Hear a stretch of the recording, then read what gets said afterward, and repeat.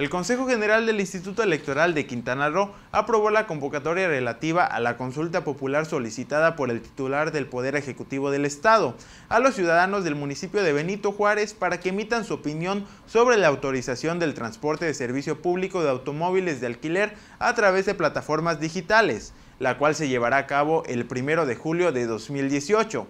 Ante el Pleno del Consejo General se dio a conocer que esta será la primera consulta popular en términos del artículo 20 de la Ley de Participación, la cual consiste en someter a consulta en el municipio de Benito Juárez la pregunta, ¿está usted de acuerdo en que se autorice el transporte de servicio público de automóviles de alquiler a través de plataformas digitales?